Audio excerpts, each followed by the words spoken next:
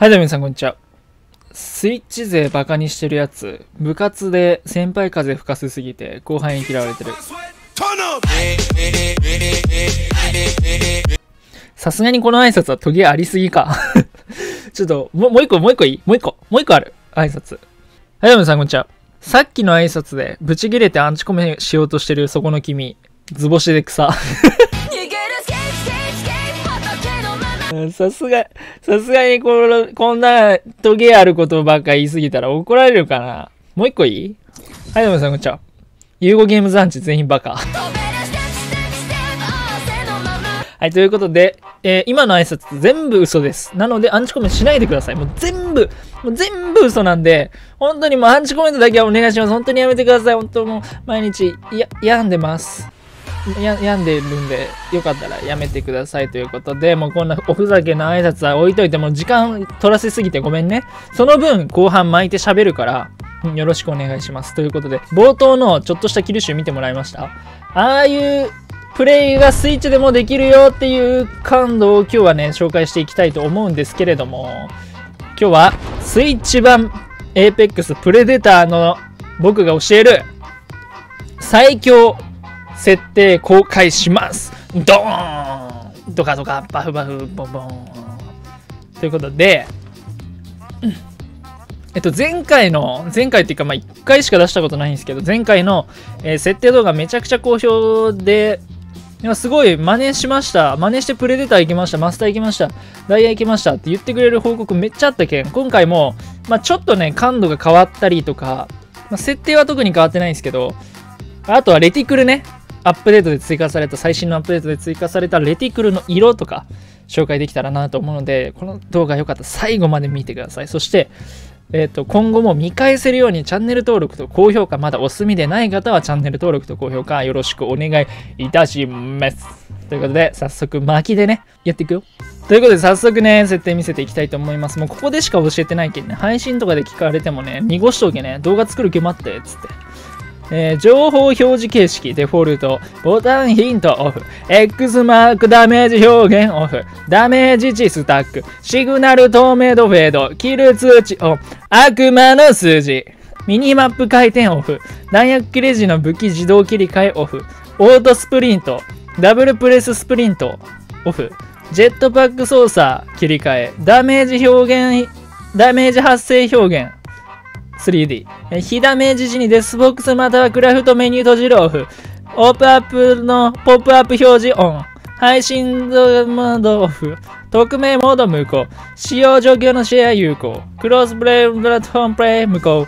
クラブ招待無効。レティクルがカスタマイズです。レティクルカスタマイズで、このカスタマイズ値を教えたいと思います。僕、緑色でやってますね。緑色がなんか、人間生命体 人間の目的にこれがいいらしい。こういう緑が一番目が疲れなかったり見やすかったりするらしいのと、えっと、ドームとかアンチの色って赤色とかオレンジ色の反対色っぽい。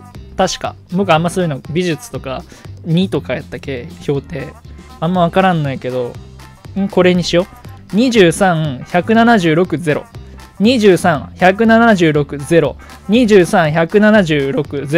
23、176、0。23、176、0。666赤間の数字。次行こう、えー色覚特性モードオフですね。色覚まあこれも好みですね。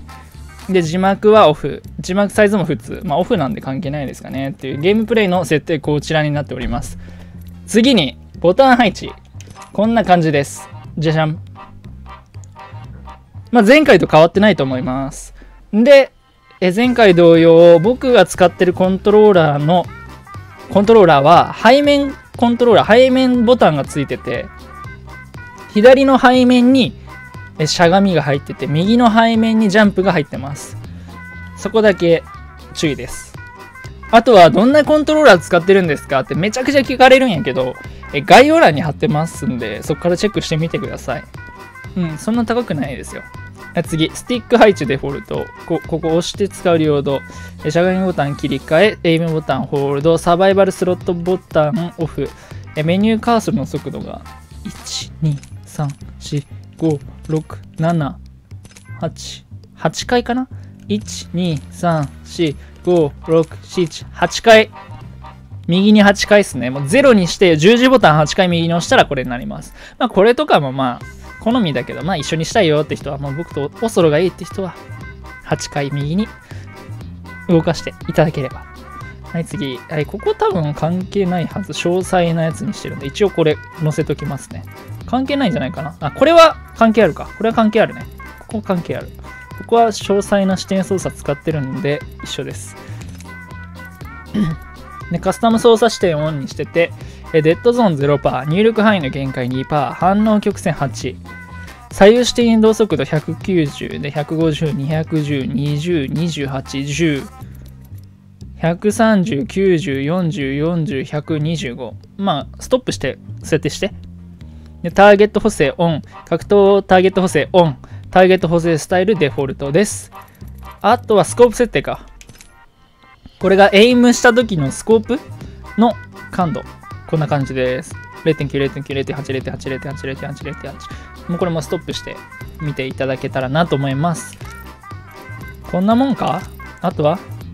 これ僕ジャイロはオフでやってますので、ここは何もいじってません。もうジャイロオフです。オンの人はまた別の話になってくるかな。えで、ビデオ。明るさが、まあ普通。デフォかな？真ん中です。スプリント時の視点の入れ普通。FOV アビリティスケーリング有効ですね。これ何なんだろうね。あー。多分、オクタンとか、ブラハのウルト使った時の視野が拡大するんかな、若干。って感じかな。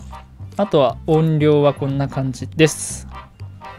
はい、いかがだったでしょうか？めっちゃ噛んだけど、いかがだったでしょうか？ということで、まあ、この設定使えば、少なくとも序盤に見せたキル集、まあ、プチキル集みたいな感じの当て方できたりとか、まあ、プレデターまではいけたりとか、まあ、僕が承認なんで、いけない可能性は絶対ないです。なんで、頑張って、まあ、この感度と同じにしてもいいし、ボタン配置も一緒にしていいし、そこから、僕の感度からうまく動かすのもいいと思うね。いや、ここちょっと僕は低い方がいいなとか、高い方がいいなって、全く一緒にする必要は全くないと思う。本当に、全くね。全くばっか言っちゃってるね。全く。もう全然何でもいいと思うよ。